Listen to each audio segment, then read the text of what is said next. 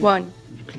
Good evening and welcome to tonight's uh, Board of School Trustees meeting. Uh, We begin this meeting, uh, like we do every meeting, with the Pledge of Allegiance.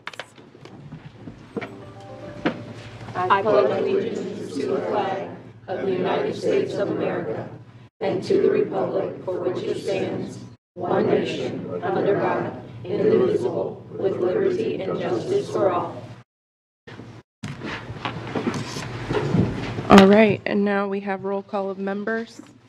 Good evening, Steve Corona from the 5th District. Julie Hollingsworth, District 1. Jennifer Mathias, District 2. Ann Duff, Member at Large. Rohli Booker, District 4. Noah Smith, District 3. And to my left, we have Dr. Mark Daniels, Superintendent for Wayne Community Schools, and I am Maria Norman, Member at Large. Um, Tonight, we start with awards and recognition, and I'm sorry, I don't have my computer up. Yes. um, Fort Wayne Community Schools recently celebrated the class of 2023 during graduation ceremonies for each high school. Nearly 1,855 graduates received their diploma on June 2nd and 3rd at the Allen County War Memorial Coliseum. Highlight, the highlight video captures moments from FWCS graduation ceremonies from Fort Wayne Virtual Academy, Northrop, Northside, Snider, Southside, and Wayne High Schools.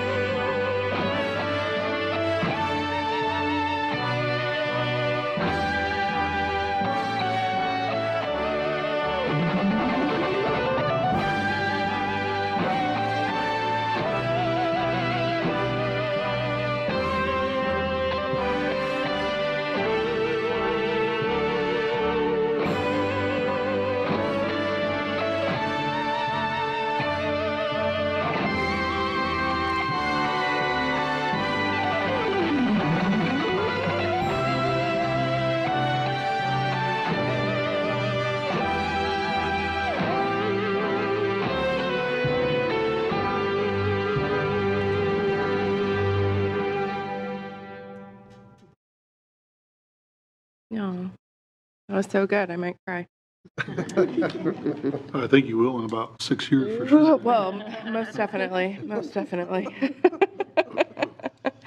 Um, Okay, so next up, we have the consent agenda, which includes the approval of minutes for our regular meeting on May 2nd, vouchers and payroll, and the personnel report. Um, Is there a motion on the floor? So moved. Wasn't May 2nd, was it? Isn't it like May 22nd or something? Oh, thank you for that. Yes, the date is incorrect. 22nd. 22nd. There's a two missing. Yes. Approval of minutes from the regular meeting on May 22nd, 2023, vouchers and payroll, and the personnel report. In the minute. Second. And, the- oh, yes, and the minutes. Yes. Move for approval. Thanks, Anne. Thanks, Steve, for the second before the move. Um, Dr. Daniel, was there anything on the personnel report you wanted to highlight? Once you've approved. Okay, That's okay. fabulous. All those in favor? Aye. Aye. Any opposed? So with that said, we have um, Tim Cap, Tim, you would rise. Hi, Tim. So Tim um, has gained some additional responsibilities, and he's the Executive Director of Student and Family Support Services. Just a little bit about Tim. He became the Executive Director of Student and Family Support Services after serving as a director since 2018. He joined FWCS in 1998 as a teacher at Fairfield Elementary, then served as a technology coordinator until he became the secondary administration coordinator. In 2012, he moved to Towles Intermediate School as the assistant principal overseeing Towles New Tech Middle School. And in 2016, he became principal of Towles. Tim will now oversee the Student and Family Support Services and Transportation, as well as the Health and Wellness Department. So, Tim, thank you for um, taking on a couple other du- duties there. Um, But again, just wanted to bring that to your attention. Matt Schiebel, Executive Director, Safety and Community Partnerships. So Matt joined FWCS in 1987 and most recently served as secondary level director. His education career began, began at Blackhawk Middle School, where he taught science for several years, became assistant principal of Lane Middle School in 2002, and two years later became principal of Northwood Middle School. He moved to Shawnee Middle School as principal in 2008, and then served as principal at Kekionga Middle School. In 1997, Matt was named the Fort Wayne Community Schools Teacher of the Year and was one of 10 state finalists. So, Matt, sort of neat seeing your career, isn't it? Flash before your eyes. So, uh, again, taking on more of a role and, uh, again, safety as well as community partnerships. Thank you, Matt. Jennifer Burning. Hey, Jennifer. She's Director of Special Education. Jennifer joined FWCS in 2014 as an alternative learning teacher at Shambaugh Elementary School. Her teaching career began at Norwell and Bellmont High Schools, where she taught special ed, eventually becoming the lead special education teacher at Norwell Middle School. In 2017, she became a building ins- instructional coach at Shambaugh Elementary, and in 2018, she was named Special Education Compliance Manager. As the director, uh, Jennifer will now oversee special education programming. So, again, all three of you, thank you as you take on more responsibilities, as well as, uh, should I just say, uh, figuring out ways to better serve our kids. So I appreciate it. Thank you. Thanks and congratulations. All right, we have the ESSER Bunche Early Childhood Center project. Steve, can you do that? I sure can. Thank you. It's recommended the board approve the following construction contracts for ESSER Bunche Early Childhood Center Rooftop Unit Replacement Project. And uh, board members have information that show um, a recommendation to um, approve contract with Shambaugh and Son. Total number is $236,880 project consists of replacement of the five pre-purchased rooftop units at Bunche, which were approved uh, earlier this year. And um, primary engineering designed the project. It'll be funded by the ESSER dollar grants and is scheduled to be completed before the end of the year. Darren Hess is here. You also see board members, the bids from the uh, three contractors, Current Mechanical, Project Design and Piping, and then Shambaugh and Son, which had the low bid. Awesome, great. Thanks, Steve. Um, Is there a motion on the floor? So moved. Th- Thanks, Ann. Thanks, Jennifer. Uh, Any questions for Darren?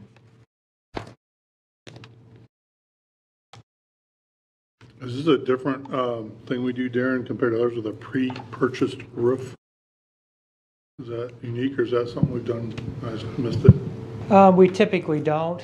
Uh, We like to have that all wrapped up in the original package, but because of all the um, pandemic delays in the last couple of years, we're using it as a strategy until we feel better. Um, So once we decided the, you know, the engineering and size of the units, we went ahead and pre-purchased them. Um, So it's not typical, but it's not atypical either. So is it like a roof made in a factory and brought and set on top, or is it just, we're buying the materials and supplies and then? Yeah, it'll be the complete unit. It's a custom designed, engineered, uh, built, uh, built unit, and it'll come in a truck and they'll uh, crane it over the weekends. Uh, We're looking probably mid-October by the time we receive them. It'll be quite a sight in the neighborhood, I imagine, Yeah. up big uh, roofs like that. Is this something you, is this the first time we've done this then?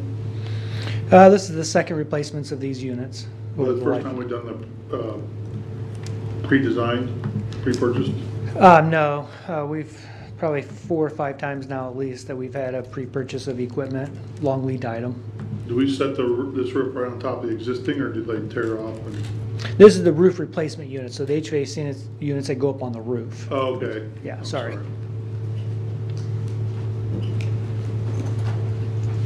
Any other questions for Darren? No? All those in favor? Aye. Any opposed? Next up, we have the Nearpod subscription. Julie? It's recommended that the board approve the purchase of a three-year subscription from Nearpod Inc. of Dania Beach, Florida for $245,637.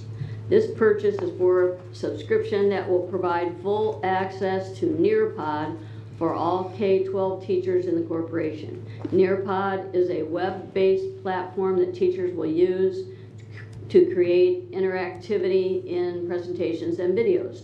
This encourages students to take a more active role during direct instruction, promoting greater levels of engagement and greater sense of accountability. Nearpod is the sole source provider of their product. Indiana law does not require bidding for purchases made from sole source providers. Funding is from the Common School Fund Loan.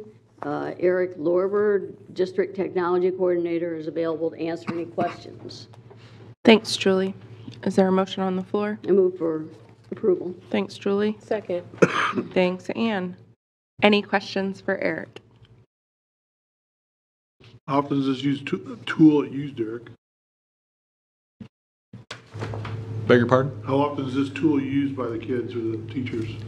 This is something that teachers would use when they're doing direct instruction. So if they're going through a Google slide presentation or a PowerPoint presentation, they would be able to embed questions into the slides so students can do that check for understanding in real time. So whenever a teacher feels like they want to get data during their direct instruction, they can use it. Has anybody within the district been using this system? We have had teachers using the free version of Nearpod, and its functionality is very similar to Pear Deck, which we used previously in the school district. We sent out a survey to teachers this past spring to see what type of educational software they wanted. And overwhelmingly, teachers did want the ability to embed these questions into their direct instruction, but they also wanted the ability to put questions into instructional videos for our teachers that are pre-recording their lessons and doing the flipped instructional model. So we had explored Edpuzzle, but we realized that Nearpod can do what Edpuzzle does and what Pear Deck does. So it's an opportunity to consolidate and make things a little simpler. So the first pair, what did you call that? Pear Deck, Paradox. So is that going away then? that is going away, yes. Okay, and how long? I I mean, do we know how long that, a year? I mean, is it a crossover between some, the two software programs that we have then? We'll be getting access to Nearpod in the beginning of July, and so we're phasing out Pear Deck. We'll have Nearpod starting in July. We'll be doing some professional development around Nearpod at the Ignited EdTech Conference this summer. And once we have access, we can start recording how-to videos to be posted on the integrated Google site and the Human Capital Management System. So you said this is the first time we're buying the subscription for this? Is that Correct. right? And you said teachers were wanting it? Mhm. How many? I do not have that information off the top of my head.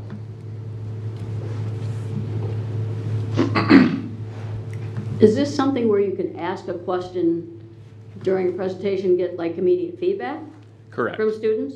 Yes, you get immediate feedback on a teacher dashboard that the teacher can see on their screen. Okay. Sweet. Any other questions? Thanks, Eric. All those in favor? Aye. Aye. Any opposed?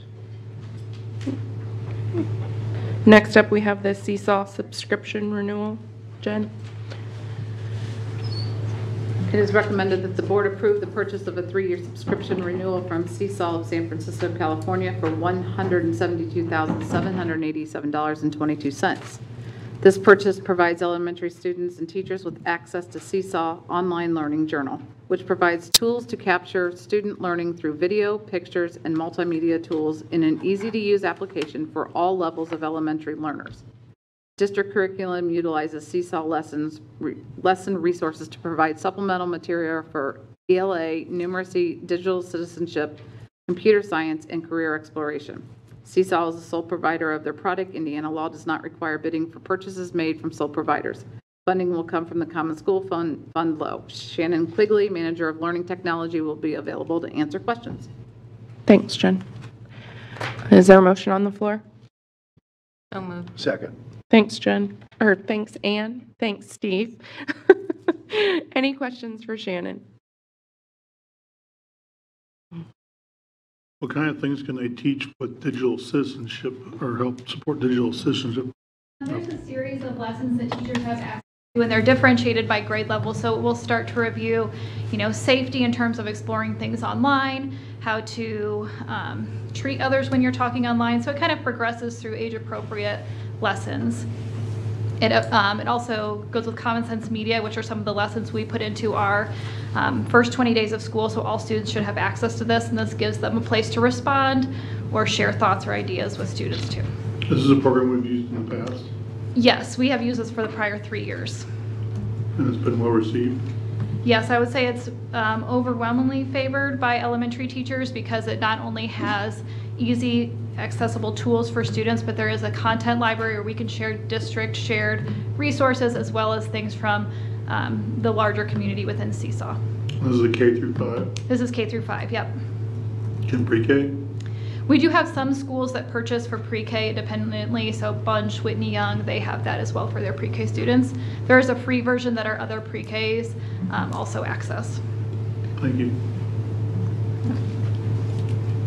Any other questions? Thanks, Shannon. All those in favor? Aye. Any opposed? Uh, Top Cat Hybrid Speaker System, Ann? Oh, did I miss one? Oh, sorry, info board displays, Ann, thank you. It is recommended that the board approve the purchase of 546 info board displays from Primex Wireless, Inc. of Lake Geneva, Wisconsin for $477,348.57.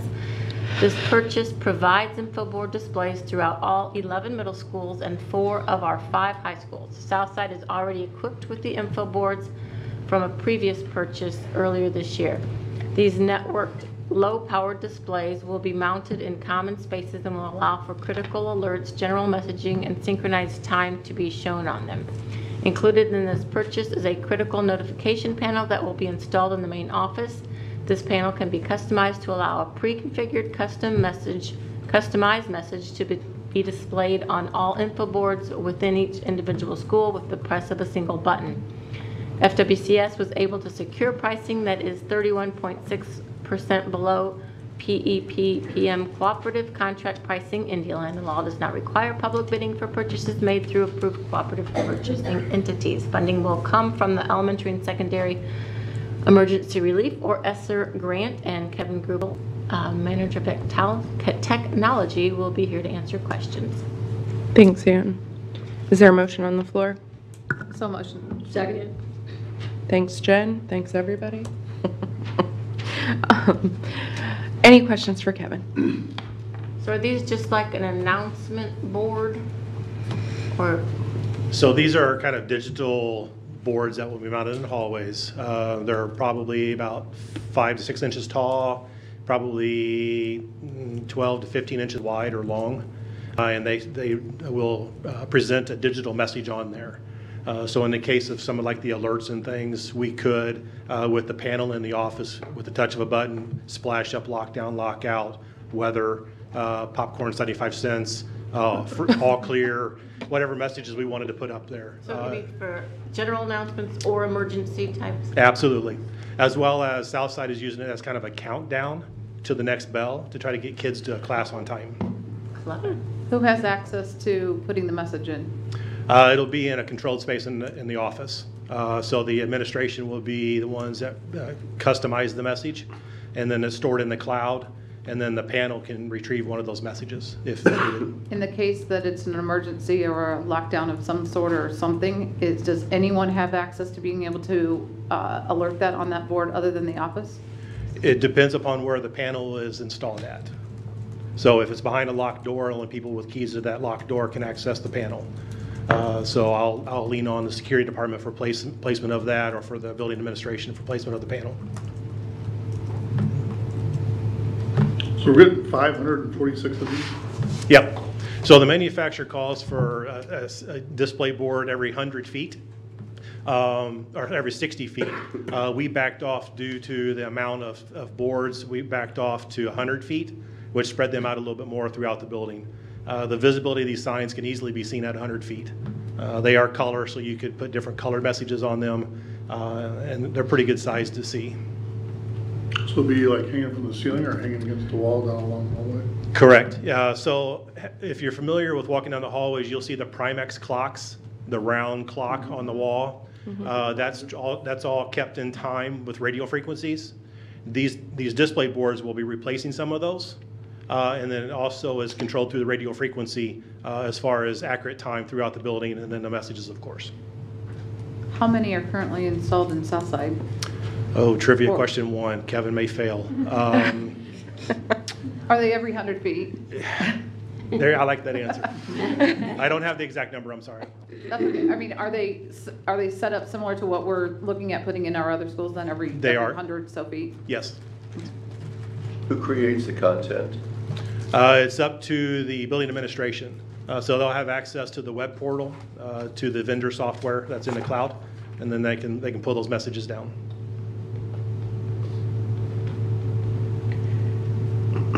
Are we going to pay a maintenance fee to the company for that portal, access to the portal and all the content? There is a little annual maintenance on the side of that, and then we'll cover that in our department uh, maintenance, fu- maintenance fund. Got it. Thank you. Any other questions for Have you had any other problems with the ones at Southside? Have we had, how, how, uh, obviously, it's good enough to present to us to Yeah. put them in the other ones, but, I mean, have there been any technical issues with them? So we've not run into anything yet. We kind of like this set it and forget it technology, where we configure it once and we don't have to worry about it too much, so. Are they getting to class on time? Only Power School attendance will tell that, and I don't have that knowledge, so. Nice. Any other questions? Thanks, Kevin. Yeah. Uh, All those in favor? Aye. Aye. Any opposed? Um, I will do the next one.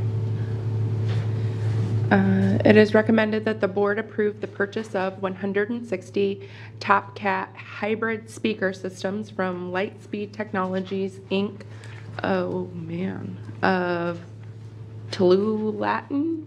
Sure. Sure. Oregon, for $199,360. This purchase provides a Top Cat hybrid speaker system for 62 elementary classrooms, 33 elementary art rooms, 50 media centers, and 15 additional units to be used throughout the district as needed.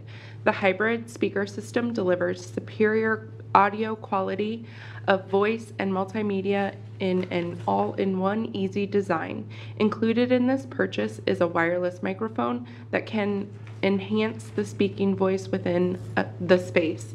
FWCS was able to secure pricing that was 12.8% below PE PPM, cooperative contract pricing. Indiana law does not require public bidding for purchases made through approved cooperative purchasing entities. Funding will come from the ESSER grant, and Kevin Grubel, Manager of Technology, will be here to answer any questions. Is there a motion on the floor? So moved. Thanks, Ann. Second. Thanks, Jen. Uh, Any questions for Kevin? What do we use now? So in, in a lot of our elementary classrooms, we already have these amplified speaker systems in place. Uh, We purchased them in May of '22 with title funds. Uh, This order is kind of going back and repopulating those missed spaces. Uh, So in elementaries, we already have these in place. Uh, Many teachers are already using the microphones throughout the last school year. Uh, And a lot of the um, special needs and in the larger spaces where these were installed at, that amplified voice really brings in instruction, uh, allows a little bit more um, clarity uh, to the instructions given to the kiddos. And the response was that everybody liked them, they were easy to use, and Yes.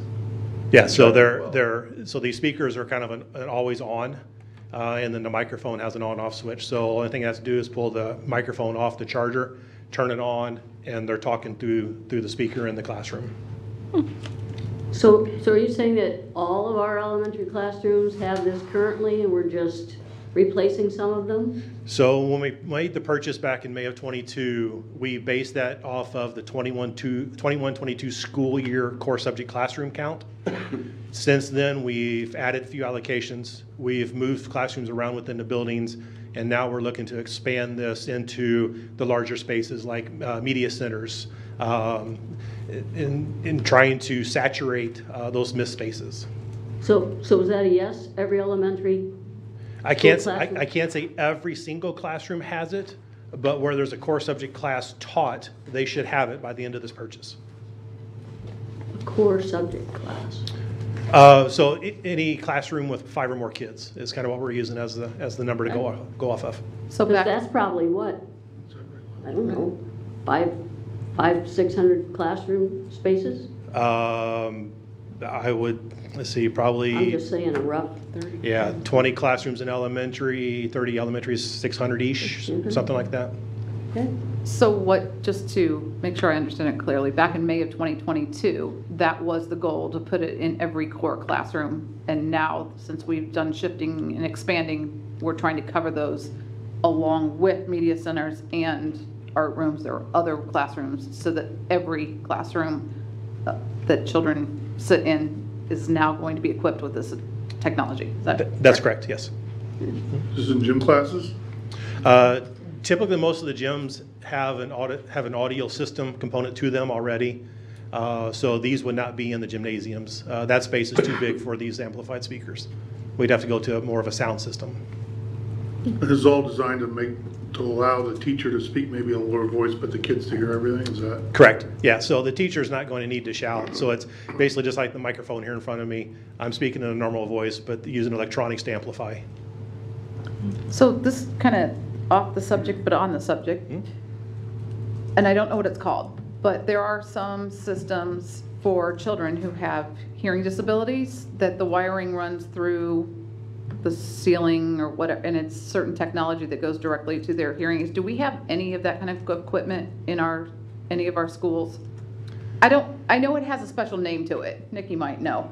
The students that have um, cochlear implants, we, we can pick up the FM receivers, and that frequency then is wired um, by the audiologist um, to pick up the frequency. And these devices, I have been in classrooms this year where the teacher is using this, and a child with a cochlear implant can hear. And It those are is clear. separate from our speaker system. They can't, they can't tune into the No, wavelength? they can. They can? Yes, they can. Yeah, Okay. these speakers that are in the, at least in the classrooms I have been in, are, um, the volume is loud, I mean, not too loud, but loud enough and clear. And then also it's about where that student, we may want to have that student, um, sit in preferential seating, um, so they can pick up, you know, the sounds if that is any type of an issue. Thank you. Sorry, Kevin, is that? No, Hey, I appreciate the backup, thank you. Any other questions? Okay, thanks, Kevin. Yep. All those in favor? Aye. Any opposed? Rohli, can you do the food, beverage, and bread? Sure.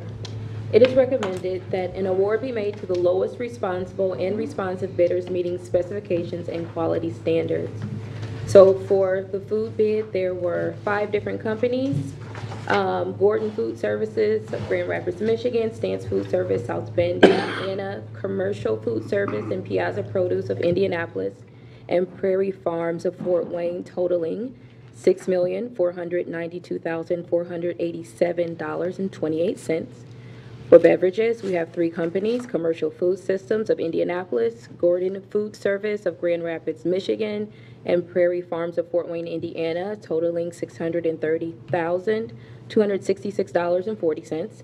And a bread bid for um, one company, Alpha Baking Company, excuse me, Indianapolis, Indiana, totaling $161,284. The food portion of the bid is for items to be used in the school lunch program at the Nutrition Process Center and the 17 cooking kitchens from August 1st, 2023 through July 31st, 2024. The bid items include the bid includes items such as fruits, vegetables, meat, and staples such as flour, sugar, and salt. The beverage portion of the bid is for bottled water and juice. The bread portion of the bid is for buns, rolls, and bread. Some items were withdrawn for, from the bid because of the menu changes, the receipt of government commodities, or the absence of an acceptable bid. Invitations to bid were mailed to 27 prospective bidders. Six responded to the food portion, and five were recommended for some portion of the bid.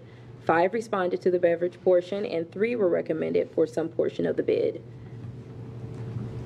One responded to the bread portion and was awarded the bid. Felipe Guerrero, Director of Nutrition Services, is available to answer any questions. Thanks, Rohli. Is there a motion on the floor? So moved. Second. Thanks, Ann. Thanks, Steve. Any questions for Felipe? Felipe, I cannot believe that the Wholesome Bakery about five blocks south of here did not respond to your bid. So on paper it says I'll be answering some of the questions. We're gonna team tag. She's Lila. She's our purchasing agent. So Got it. Hello. Um, the bakery quit making food, uh, school food products is why they do not bid on our, on our bid. Is it just sandwich bread? And, uh, buns, whole wheat buns, whole wheat hot dog buns, whole wheat hamburger Real buns. sophisticated stuff. Yeah. So, yeah, they quit, uh, about three years ago, they quit bidding on our bid. Oh, wow. Is there any new vendor in the mix that you're recommending here? They're all people who provided us food in the past? yes. So uh, we have a couple new ones, but it's for the uh, disposables, um, and that's gonna come later. For for the food bid, it's about the same. Thank you. And Felipe, everybody is um, feeling the pinch of the increased food costs. Um, How much has our, our grocery bill increased um, from last year to this year? So interestingly enough, uh, the food portion it is it went down two percent, but the beverage went down uh, what was twenty five, and then the bread went up about ten percent. Oh, wow. So it it went up significantly in some areas, but then some of the other areas like the disposables and the supplies they went down significantly. So you know, all in all, it's about five percent less than last year. Okay. But the food, beverage, and bread portion kind of went all over the place. Um, so. Good for us. So this will be enough supplies for the whole school year? Yes, Get your menu set and ready to go. yes. It's impressive. And you, s- it says there are um, menu changes. Is there anything exciting that kids can expect next year in these menu changes? Well, that was my promise, right? um, so, um, I don't know if you, you guys have heard, but this summer we're piloting a coffee bar in our high schools. Um, when you compare the participation from last year, and you, summer program was a little, a little different last year, um, but we have more enrollment this year, so the number kind of went down when you compare, you know, apples to apples. But when you compare participation against participation, it's about up 75%. Uh, so that's it, it's quite a bit, and uh, we're trying to figure out the details how this is going to work during the regular school year. Because right now it's a scaled down version of our program, but we're really excited, and the students they love it. They they really like it. A lot of positive feedback. And uh, since high schoolers will be going a little earlier next year, Um, might as well try to help them out somehow. and if we can provide a breakfast of that quality, uh, which is comparable, you know, we've received feedback that you know it's very comparable to Starbucks and stuff like that. Um, if we can provide something and not charge, and have a nutritional quality that's superior, uh, I see no contention about that. yeah. That's exciting. Yeah. Yes, so that, that's the first step. We're going to try different things throughout the school year. We're going to make it flexible enough that we can pilot different programs and uh, offer different things so we can try to figure out what's the right mix of different items and different offerings for all grades. Um, but one of the key pieces is going to be how this food bid looks like um, because we want to do something, but we may be limited to what we have available. So we're going to have to get real creative. It's a good challenge. Awesome. Can you come and negotiate my grocery bill for me? Right? Anytime. Yes. Yes, please. Yeah. You buy $7 million of food a year. I Felt like I bought that today. Yeah. Right. Yes. Thanks, Felipe. Yeah. And I just want to point out that, again, when you compare last year's bid with this year's, the whole bid, it's about 600,000 less Oh, than wow. last year. So the team, they did an incredible work um, bringing everything down. And again, we go with the lowest and most re- responsible bidder. Uh, so we went and made changes, and they did an awesome job just putting everything down. And again, it looks fantastic. That's Great. a fantastic achievement. Great work. Good job. Thank you. Awesome. Any other questions? Okay. All those in favor? Aye. Any opposed? Okay. Um, that leads us to milk. Noah? My favorite product. It is recommended that an award be made to the lowest responsible and responsible bidder meeting specifications, quality standards, and complete dairy service. This bid is awarded based on three categories of half-pint containers, which inclu- include 1% white, fat-free chocolate, and skim milk. Company awarded uh, recommendation two is Prairie Farms Dairy Dairy in Fort Wayne, Indiana, for a total of 1.173998 million. Uh, pints of milk estimated at 5.7 million annually represent about 9% of total dairy purchases for FWCS schools and other potentially vended programs. Other dairy items such as yogurt, cottage cheese, and larger units of milk will also be provided and are in addition to the cost above. The bid is for one-year contract with the option to renew. During a year, the price fluctuates as allowed in the contract. The price change is based on the United States Department of Agriculture's monthly increase or decrease of the cost per hundredweight of Class 1 skim milk and Class 1 butterfat of FWCS suppliers. If invitations to bid were mailed to two prospective bidders with one responding, that being again Prairie Farms Dairy, purchasing uh, $337,260 of uh, 1% white milk, $830,940 of chocolate milk fat-free, we can see what the kids like, and then $5,798 of skim milk. I think they have voted. The total for this bid is approximately 10.32% increase from compared to the current contracted pricing. Again, Felipe and his team are here to to answer questions. Thanks, Noah. Is there a motion on the floor? So. Second, Thanks, Ann. Thanks, Noah. Any questions for Felipe? I do have one. As my daughter's dietary needs have changed into becoming vegan, have we looked into soy or almond milk at all? Or other alternatives? I don't know all the alternatives, but I also know a vegan. Oh, no. Yeah, she can expound on that, I'm sure. Yes, we do offer alternatives. We also always have uh, juice available, um, but we also have soy milk available.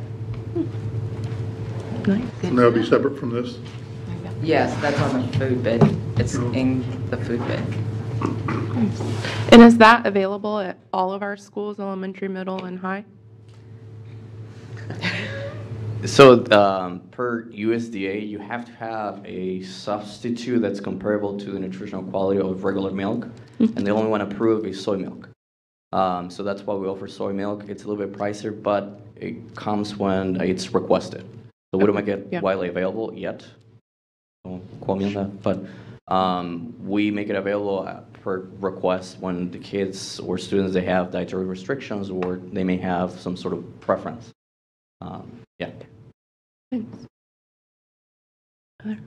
I'd just like to comment that I'm glad that it was Prairie Farms, that one, and that they're local. I just, it makes my heart happy when we have local vendors, so. Uh, Any other questions? If a lunch buddy requests a vegan meal, could you accommodate? Yeah, we're working on that. Well, when you have that up and running, let me know. All right, all those in favor? Aye. Any opposed? All right, Steve, cafeteria disposables? It's recommended that an award be made to the lowest responsible and responsive bidders meeting specifications and quality standards for cafeteria disposables. And you see the three companies recommended, Acorn Distributors, uh, price 220 $227,560. Form Plastics out of St. Charles, Illinois, $110,104.46 and Pathways Solutions from Dublin, Ohio, $523,480.55. Total, 861, $145, and 1 cent for those items. Uh, Bid for cafeteria disposable products um, includes plastic, aluminum, and pressed paperboard containers to be used at the Nutrition Process Center and we had sent out um, invitations to bid to 23 prospective bidders, six responded. Felipe is still standing in front of us for any questions from us. Thanks, Steve. Is there a motion on the floor? Move approve. Second. Thanks, Noah. Thanks, Anne. Any questions for Felipe? So you mentioned that these are new companies that we're going to be working with than we have prior in the past? Um, yeah, so it's, it's not that they're new, but you know it changes every year. Um, so last year we didn't award anything to Acorn, but this year we did. Um, last year we didn't award anything to Form Plastics, but we did this year. Um, and then the other ones that were there last year. So it kind of looks different every year depending on what they bid, how they bid, and it was a little crazy this year with some of the bidding for this specific one. Uh, some trades just went up exponentially for some, and some other companies just stay where they are. Um, so it was very interesting. So from last year it was about 1.2 million, and right now it's about 860,000. That's great. And I told you I would always ask, so, um, are, are any of our cafeteria disposables recyclable or compostable? And I think I know your answer, but. Due to the special way we need to pack at Nutrition Services and the, blunt- the production lines they go on and how they have to be heated and um, handling through refrigeration, at this time, we cannot find a, um, a package that we can use in that.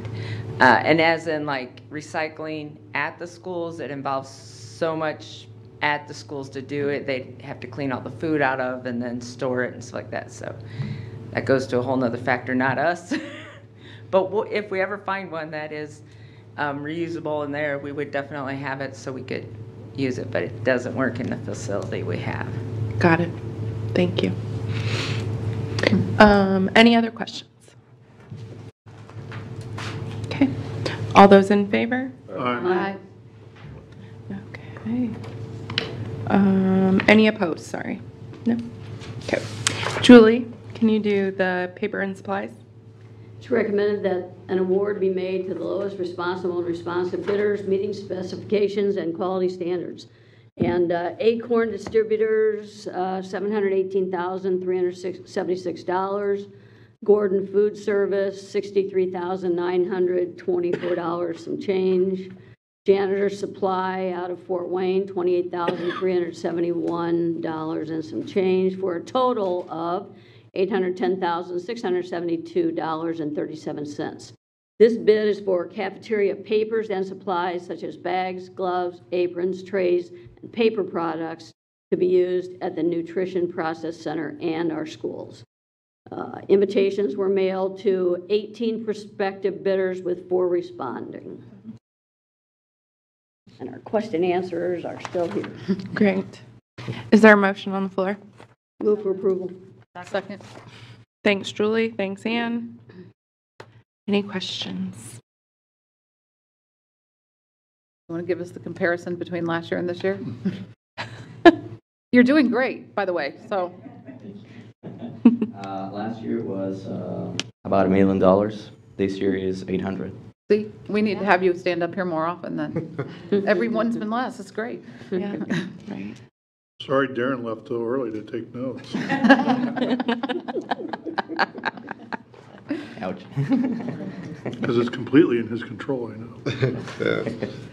So bids were mailed out to 18 prospective bidders with only four responding. Is that just the sheer quantity of things that we're ordering that only certain vendors can meet our needs or, mm-hmm.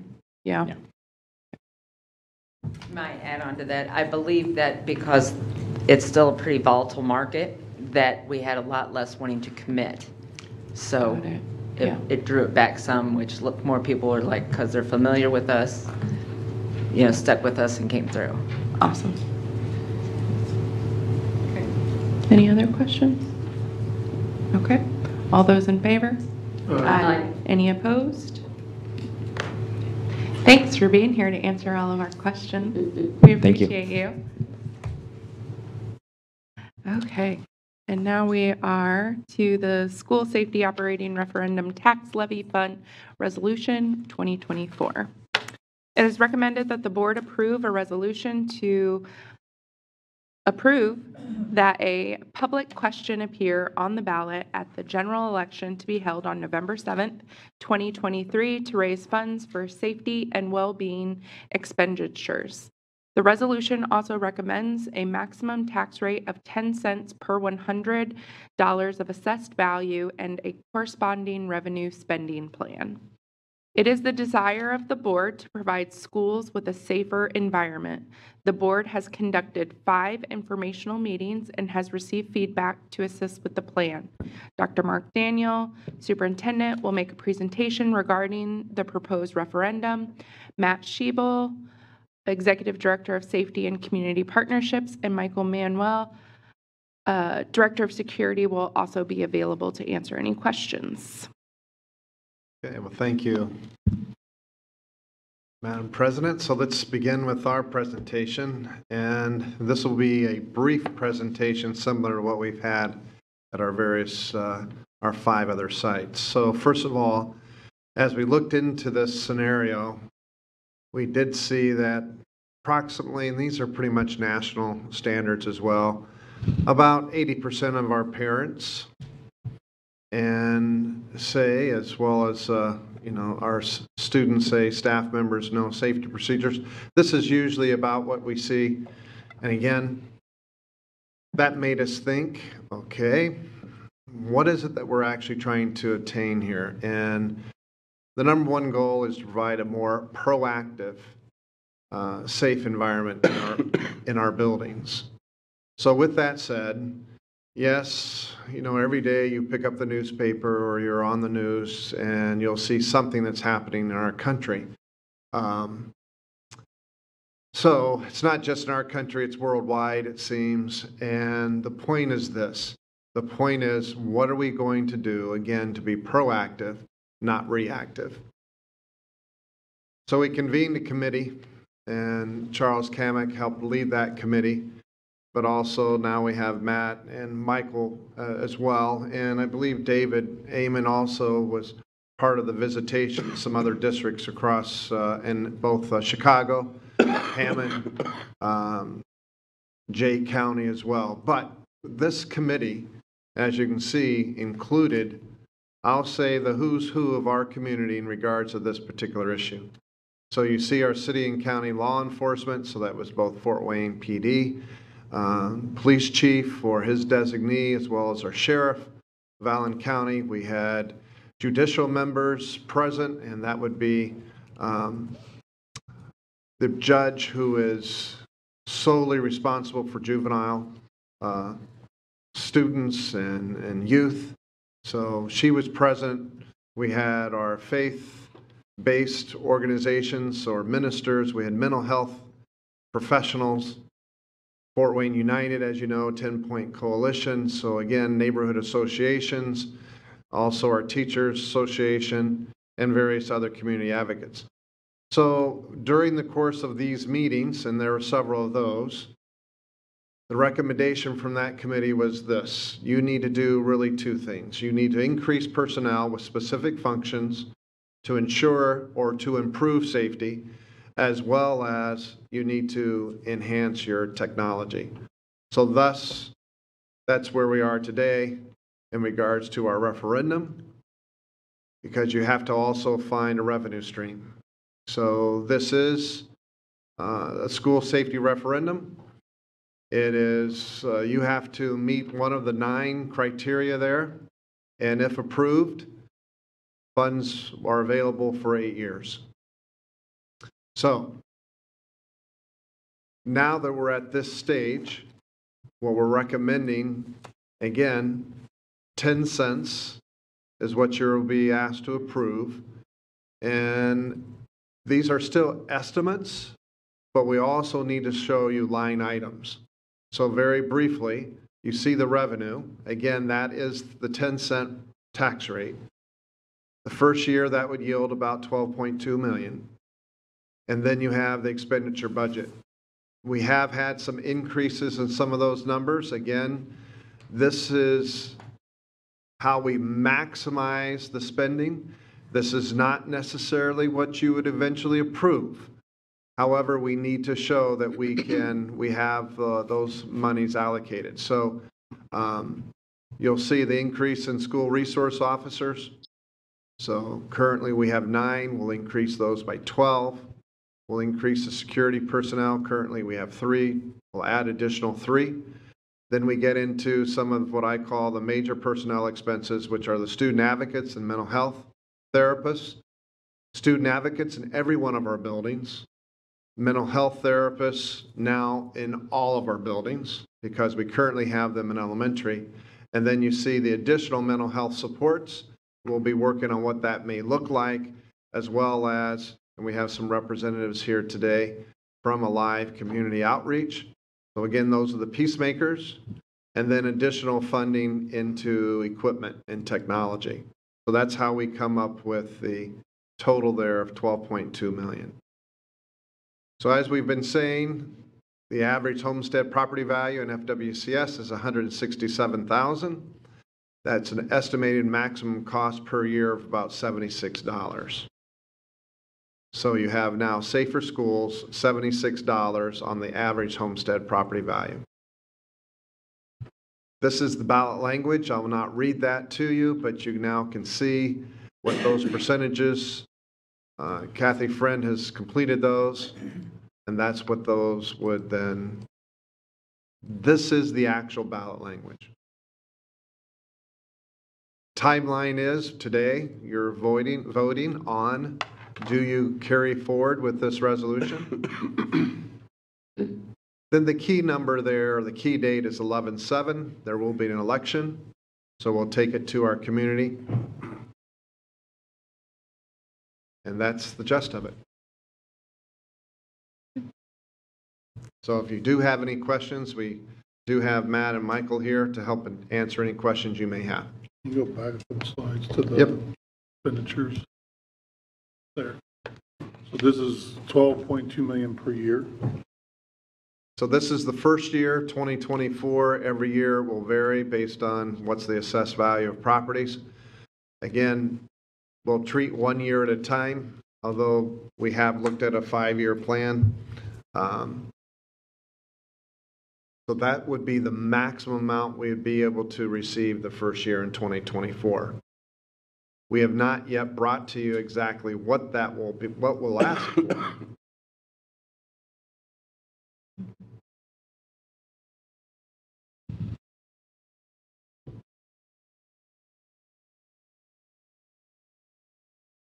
Other questions, comments? And there's flexibility the way that we've structured it so that if we find that um, cost is not as high as we anticipated, we can always go less than that 10 cents. Is that right, Kathy? Yeah. Uh, In fact, the first year, um, and this is something that we'll have to talk about before the budget, because the budget for '24 will be approved before the vote. Okay, But you have to pay, you have to approve this resolution today to state which you want the maximum rate to be. When we bring the budget, it can be either this number or it could be a lower number. So, um, and that date, I believe, is October the 9th was um, the date that we had on there for the budget approval. So, um, for instance, when we talked about this originally, there were some, we thought there might be some of these positions, we can't get it implemented quick enough, maybe, so that some of that cost maybe wouldn't come in play until 25 instead of in 24. And so, um, so there could be, there could be a reduction here to a lower tax rate than 10 cents the first year. But this gives us the, the flexibility to do that. So, hmm. and you have to create this spending plan every year but you do it at budget time. So it'll match in the future, the spending plan will match what you're, what you're asking for in the budget. In this case, it, we have to go sooner in order to get it on the ballot. Mm-hmm. we've identified all the line items that we might possibly, we've identified them, it's included, um, but not necessarily, when we consider this every year, have to vote the maximum amount or every amount that we've identified. Mhm. Yes. And can you put up the ballot language?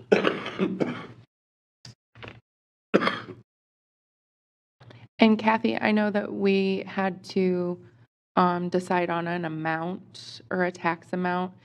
And I noticed that neither one of the numbers on there are 10%. So as a voter, It's 10 cents, not 10%. So that's what changes the, got it. Okay. Overall, I just know it's confusing, so. It is, and that's unfortunate. And, and besides that, that only reflects our portion of the tax bill, not their entire tax bill. So it's very misleading for a taxpayer to read that. That's not how high their tax bill is going to go up in total, only our portion of it. Got it.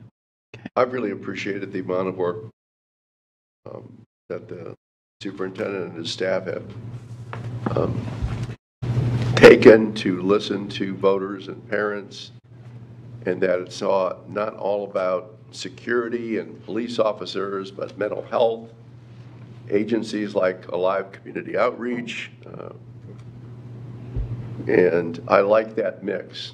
You really, this is serious business. And for $6 a month, what a deal. I agree with you, Steve, because you, when you look at that budget, it's almost, it was 12 million something, and almost 10 million of that goes to personnel, people who will support our students. And, um, you know, I think that's going to just do wonders for our kids overall. Um, Yes, we will have safer buildings, but I think our, our, all of our kids will benefit from getting those additional people um, to build relationships with, because when we had those security meetings that Dr. Daniel mentioned, that was what, what popped up over and over again, is relationships with our students. So I think this will definitely help. If this gets approved in November, how soon would that hiring of uh, personnel listed there, how soon would that take place? Well, we can start to spend money in January. Granted, we won't get our first property tax dollars until we, we get an advance in Okay. May and June, and then the rest of it, and, but that's how all of our property tax funds operate. So we will, we will probably start hiring in January. Um, But, you know, there may be a, there may be a, a way that this is staged so that some, uh, the majority don't start maybe until the fall when the school year starts, and Okay. so, yeah, but we, we will have access to dollars starting at the beginning of the year.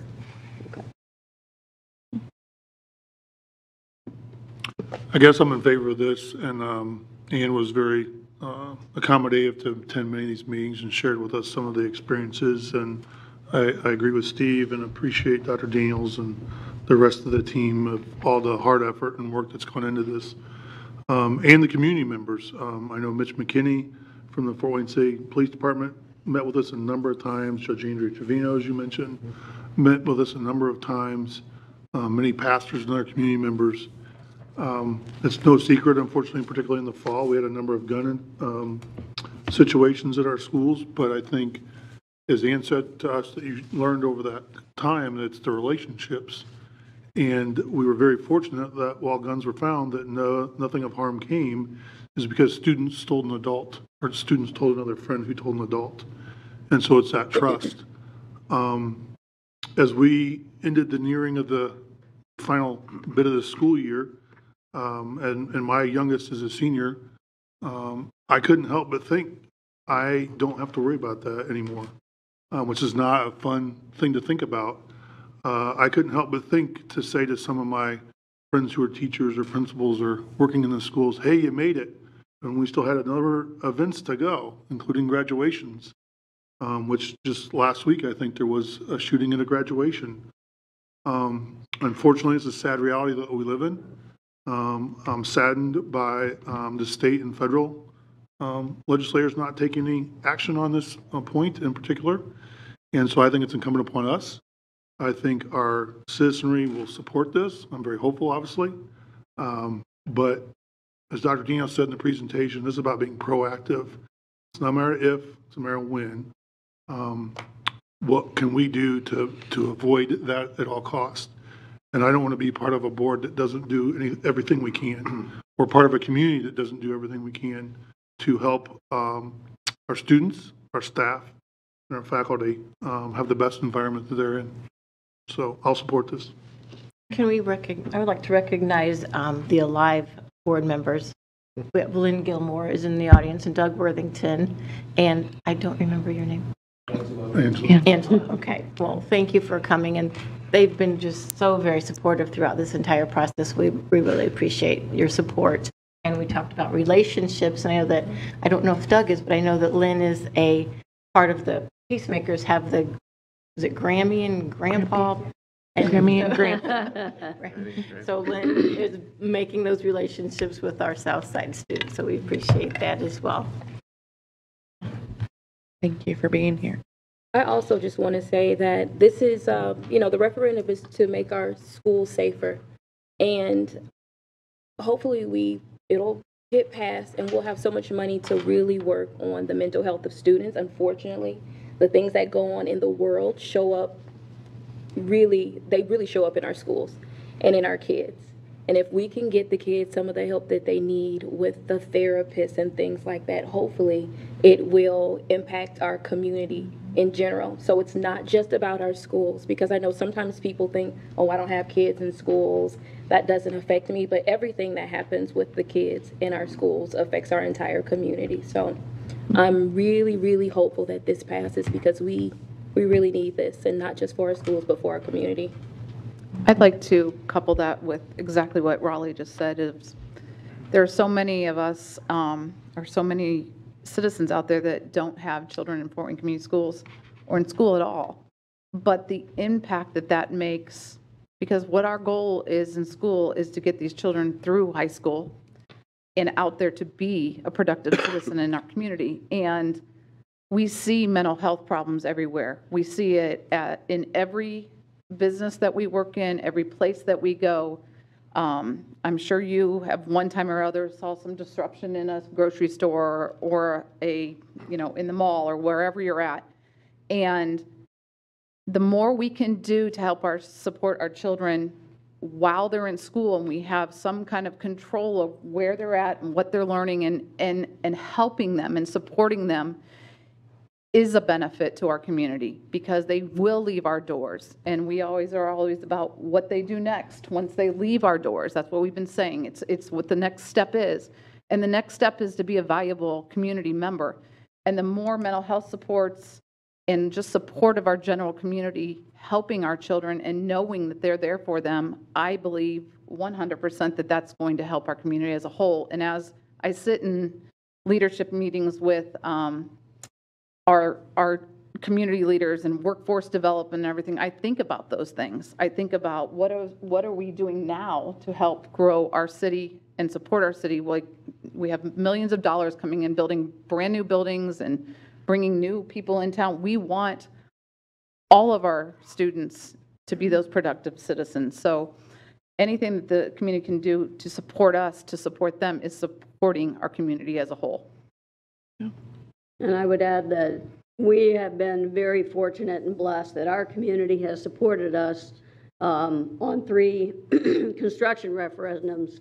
Um, And, uh, but I would say that this is just as important, if not more. I mean, the construction referendums, those are investments in buildings. This is an investment in uh, children. And a lot of these children and students end up living, working in our community. So this is really uh, a vote for an investment in the future of our community. And I'll just add briefly, um, I do hear a lot from constituents in the community that say, oh, I don't have students in the district. But I, we can't forget about the 4,000 employees that we also have that this is going to affect. Those are our neighbors, those are our family members, those are our friends, and we don't want anything to happen to them either. So while you may not have a student in our district, I bet you have a friend or a family member who work for us, and don't you want them to go to work at a safe environment? And so, um, yes, we want all children to be safe, but I have lots of friends and uh, family that work in our district, and I want to make sure that they're also safe as well. So keep that in mind. Um, do we want to do a roll call vote or is a regular vote okay, Kathy? Mm-hmm. Yeah, okay. Regular vote's okay. Thank you, David. All right, so all of those in favor of approving, Do we need to move to approve or first? Get the vote. oh yeah, we probably need a motion, yes. I move we approve, Madam President. I second. Thanks, Noah. Thanks, Rohli.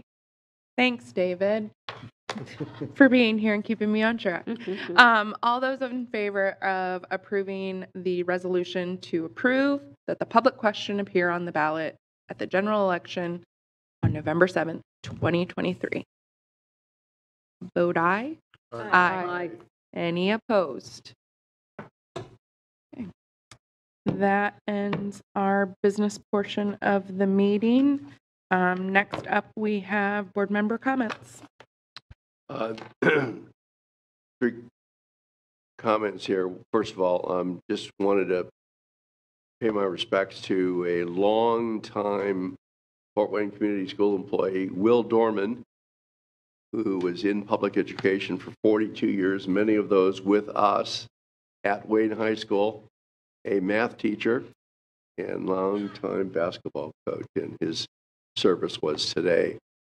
Um, there is a, a webinar later this week um, from Edunomics, and I heard this speaker. She's from an economist from Georgetown University. And did you folks get this notice? If not, I'll send it to you. But it's um, her pitch is districts now have more staff than ever and fewer students. It's about the the ESSER money. Uh, when we heard her at a conference in Washington, D.C. in January. She was fabulous. So I think she's going to cover the same ground, and I know we're looking um, at this issue. And uh, if you have time, and you really don't have to be a part of the board, it's open to anybody. Um, But I will send it to board members and make sure that others have information on that. Um, The, the last item I wanted to talk about was something we talked about in our meeting prior to this one, and it has to do with um, black student achievement. Every year, we publish a full-page ad in the Journal Gazette listing our top 50 scholars, and these are kids that worked really, really hard over their high school career to be in the top 50. Unfortunately, um, there is an underrepresentation of black students in that top 50, and it's been so for a very long time. Um, and we need to fix that. We need to change it. Um, we looked at some initial data, but we need to gather more.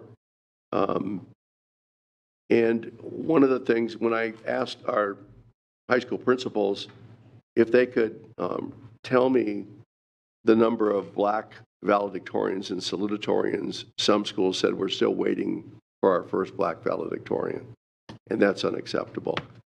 But we have to pull together as a district to figure out how we raise that. Because at the same time, black student achievement at our highest levels in our classes is low. We see other students of color, Burmese and Latinos, many of them who come to this country without speaking the English language. And yet they make the commitment to study, learn, and they're right at the top. And we need our black students there too. So, um, you know, hopefully we'll figure this out. Um, I'm not going to give you my opinion because I pulled out a quote that I shared with the board and the superintendent. And it's from Edward Deming, who said, without data, you're just another person with an opinion. And so we need to gather more data and more insight, bring in our people from our buildings, and we need to ask our students too, that they have to work harder too, to, to be a part of um, the highest levels of our, of our, um, our, our classes. So anyway, I'm, I'm optimistic that we're going to figure this out. Um, Just enjoyed being part of uh, graduations last week. The the Fort Wayne Virtual Academy gra- graduation was really interesting.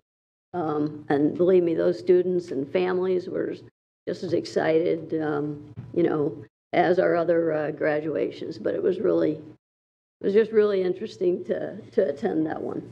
Um, But hopefully, everyone's having an enjoyable summer, and I know a lot of things going on this summer as far as programs for students and teachers, and so, um, and we'll be busy too, won't we, Matt?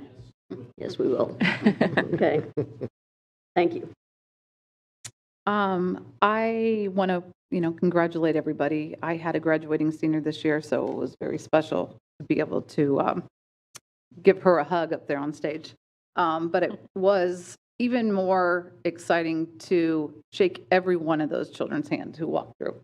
It's a very special feeling. Um, you can look out in the audience and see all the parents so proud, but just being there and um, I have to give kudos to Dr. Daniel and Dr. Robbins, who were probably there at everyone and shaking everyone's hand because even going through a couple of them, that's a lot of hands.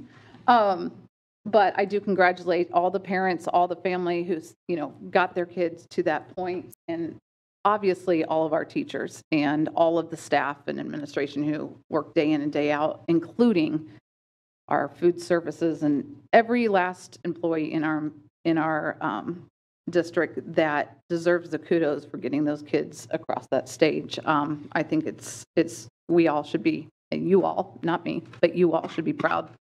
Um, But I did hear one thing that I would like everybody else to know about that maybe we can touch on at another time, but there are a few schools, elementary schools that I hear are piloting a learning lab for teachers.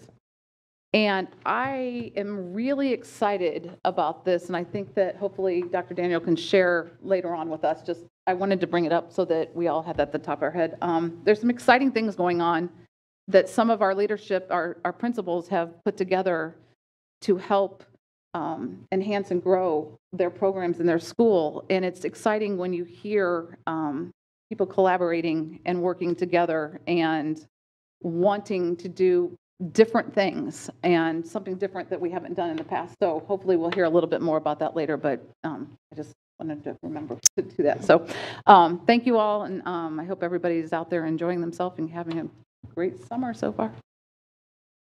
I'll just echo you on uh, congratulating all of our graduates. The uh, first day of school and graduations are probably the highlights of being a board member, so it's, it's always um, exciting to uh, watch all of our graduates walk through and the excited families and all that. And um, the virtual academy, Julie, that was really interesting as well to recognize that, that small group of students, but they graduated as well, so they need that just like everybody else. Um, But I believe that is all my comments for this evening. Thanks, Ann. Rohli. I attended graduations along with the other board members last week, and uh, it's always just, it's always so touching. It's such a great experience. I smile so hard that my, my teeth get dry. And um, so, just congratulations to all the graduates. Congratulations to the families that supported those graduates and the teachers who and the administrators who also helped su- to support um, that achievement. I do want to thank Steve for bringing up um, the comment about Black student achievement. One of the first meetings that I had with him, he brought out his newspaper clipping and he showed me. Um, and uh, it's something that we've had a conversation about before. Um, it's something that someone could actually and probably has written a, a whole PhD, you know, about black student achievement. I don't think it's fair to compare black students to other um, demographics just because of the um, the history of the country and just different experiences that people have.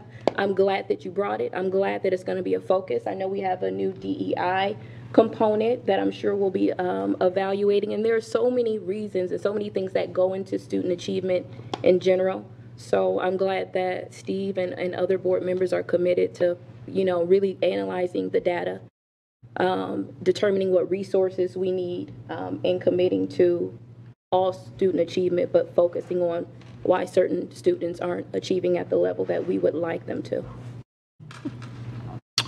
I just want to reiterate what everybody said about congratulating the graduates of 2023, and particularly Alexi Mathias and Ariana Smith. And I'll leave it at that. Thank you. Dr. Dane? So I'd also like to thank the board for attending those graduations. I know it's, uh, they're, they're, uh, they're not always your kids, but they are all of our kids. So at the same time, I also would like to thank the, the support staff who, you know, made sure our gowns were there and uh, we had a couple of lunches and, you know, that sort of thing. Um, They're sort of in the background, you don't see them, but folks, they are, they are very, very important. And then also, you know, our students, um, behavior was impeccable. So again, thank you to our students, our graduates, our new alum. And again, we've said, you're still part of Fort Wayne Community Schools. There are, uh, again, we, we want you to return and mentor and, and be part of our, our, our moving forward with what we're trying to do. Lastly, I had the opportunity to be at uh, General Motors this morning and talking with some of their leadership on how we can partner with them. And again, the skill sets they were talking about had nothing to do with math, English, social studies, or science. It were, they, they were the soft skills, problem solving, collaboration, being on time, and so on and so forth. So, um, it's exciting when you have that kind of investment in your community because that tells you our community is doing things that are second to none. And, you know, $632 million is substantial. But as I said, the human capital lies within our schools. And again, that importance of partnering and moving our kids forward. And yes, they need a livable wage and something that will keep them in Fort Wayne. So, thank you. Um, the only thing that I will add to the graduation thing, like Rohli said, her teeth got dry. My face hurt from smiling. I had to keep like relaxing my cheeks because it was just, but uh, genuinely excited. Um, I'm just always touched by the passion and enthusiasm of our families. Um, they're just so excited, and I remember that excitement um, when I graduated, when my sisters graduated. So just always um, touching to be around um, all of the emotions that surround graduation. Um, and I don't know if anybody else follows the College and Career Readiness um, program, but they did an Ivy League tour this week.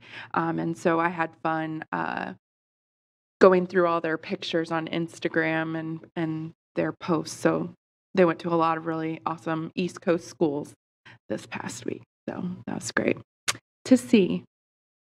And that's all my comments, actually. And our next uh, regular board meeting will be Monday, June 26th. Um, Is there a, mo- Move we adjourn, Madam President.